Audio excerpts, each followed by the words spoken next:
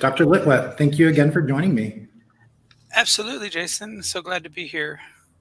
Awesome. So, last time we touched on barbarian wisdom in antiquity, and uh, this time I actually want to um, focus on something that's kind of adjacent to that, um, which is the allegorical reading and interpretation of the Greek myths, and especially in a, a figure um, named Cornutus, who is uh, a very important figure in the uh, development of the allegorical method.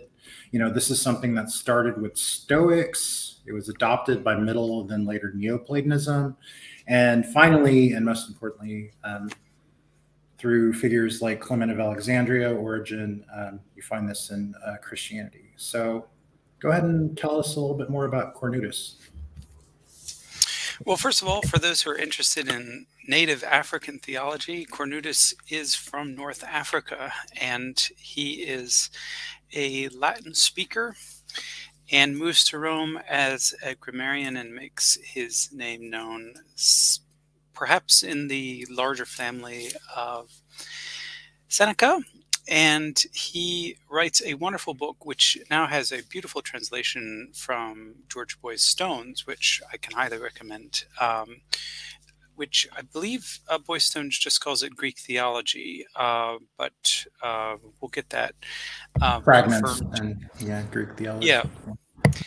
So basically, uh, it, Cornutus writes for those whom he wants to properly in, interpret the gods. So he's a first century figure, is exactly contemporary with the likes of Seneca. Uh, he's active in the reign of Claudius and Nero, and so he's he's also contemporary with these you know so-called apostles, um, probably a generation or so before the gospel writers and at least 100 years before the so called Christian apologists. But what's interesting about Cornutus is he is trying to increase piety in, in his in his audience. Um, like Christian apologists will point out later, about a century later, is that the, the Greek gods they do some nasty things, and they appear uh, in Homer and Hesiod, especially in somewhat embarrassing ways. So, for instance, Zeus uh, says that he one time strung up his wife um, with a set of anvils and strung her up and uh, essentially affixed her in midair. Uh, as, as if she's sort of like uh, in, in cruciform shape. And uh, that's just not a very nice thing to do. And then Hera plays a nasty trick on Zeus by grabbing the the girdle of Aphrodite and uh, basically making her husband so horny he can't stop from having sex with Hera, and uh, you know he he creates a cloud in order to protect that site from anyone else. And then the very probably the most famous episode is Hephaestus uh, sets a trap for his wife Aphrodite and her adulterous lover Ares by setting up an invisible system of wires in the bed in which they are making love, which catches them in the act, quite literally in the act, completely naked. And all the gods are invited to see these gods who, these two adulterous gods who are, in a sense, frozen in the act of orgasm, trapped by invisible wires, and everybody laughs their heads off. So these are kinds of stories that Christians later took offense at. And obviously, Cornutus is part of a long tradition where he's explaining and to some extent defending what the true meaning of these stories is. Because his theory is that the devisers of these poems and the devisers of language itself were sages back in antiquity who told these somewhat salacious stories to entice a kind of superficial audience, but inside these stories, they embedded enigmas and hints of deeper theological truths. And they did so by using various names and words, so that the very names of the deities embed information about, about their true character.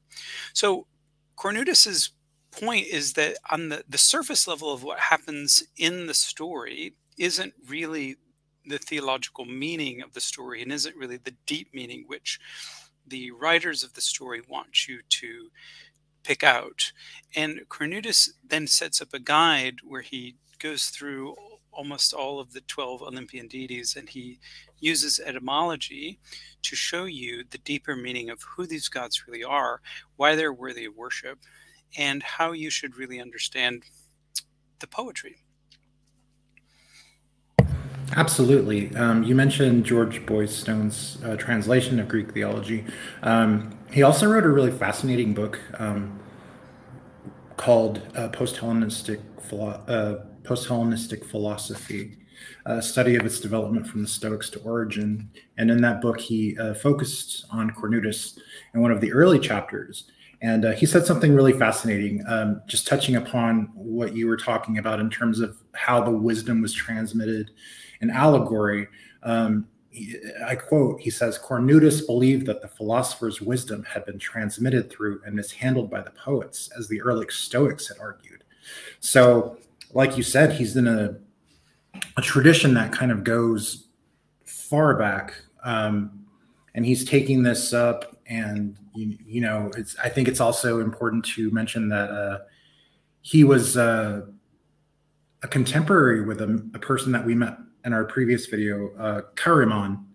you know um, cornutus and Chaeremon inherited from uh, posidonius a similar you know allegorical method of reading text you know and uh, like i said earlier uh, not only did the stoics um, latch onto this, but it seems it didn't really catch headway until later on in the Middle Platonic kind of milieu. But then when it really latched on, you find that with figures like Porphyry and then later with Origen, and they just really take that and run with it.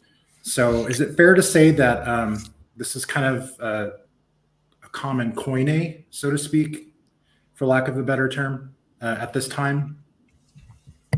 Well, it's invented by religious believers to defend religious myth. Um, again, the question is commonly asked Did the Greeks believe in their myths? And the answer is yes and no, because they could read at, at multiple levels.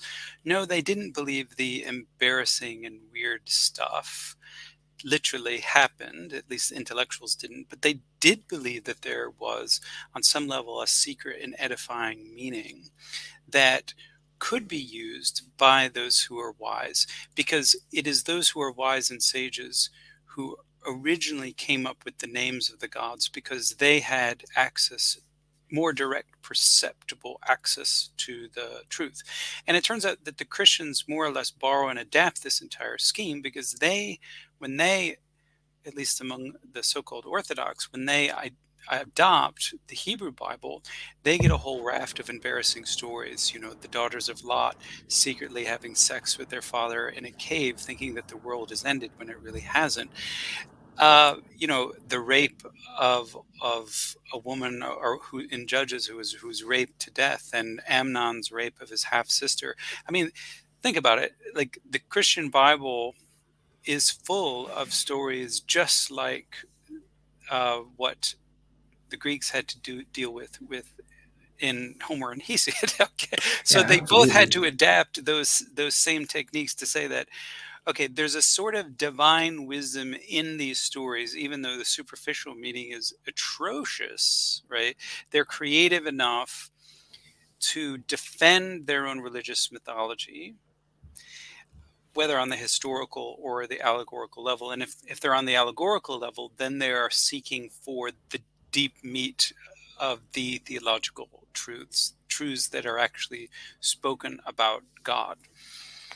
Absolutely. And, and yeah, it's in my estimation that um, Cornutus is definitely a figure that more people, especially people who study early Christianity and antiquity, should really know about. So, uh, where exactly can somebody begin with that or, journey? Yeah, or a modern believer in, in pagan religion because uh, what what Cornutus is doing, and I think it's it's useful for all you know Westerners to to realize this is, is that Cornutus is, is doing what what any religious believer would do today, that is defending their own cultural lore from the cultured despisers right? Who will later become the Christians. And then the Christians themselves have to defend their cultural lore against their cultural despisers. And seeing them think on their feet is, is really important because these gods are just as much part of the Western tradition as, you know, Yahweh. I mean, Zeus and Yahweh, they've always had their issues, but their devotees have done the best that they can to interpret the cultural lore in such a way as to bring out those deeper theological truths, which are, in most cases, something like ethical, moral, and theological truths, which you know the Christians didn't invent. It was the Stoics and Platonists who got to that hundreds of years before them. Well said. Um, so yeah, in my estimation, nobody does that better than um, Plutarch and Isis on Osiris and uh, anything by uh, Philo. So everybody check that out. Everybody go check out Dr. Litwa on Patreon. Check out his channel. Um, he has a mystery course right now with Myth Vision. Um, we'll put a link in the description. Um, Dr. Litwa, it's been a pleasure. Thank you so much for joining me. Absolutely, Jason. Thanks so much for having me.